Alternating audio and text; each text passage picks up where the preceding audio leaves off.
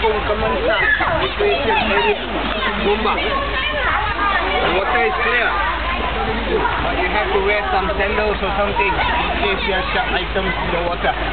You never know. Look at the boys, they are going to do the Tajos Tajos style. Come on, Tajos, all right. Rona, kita berapa ada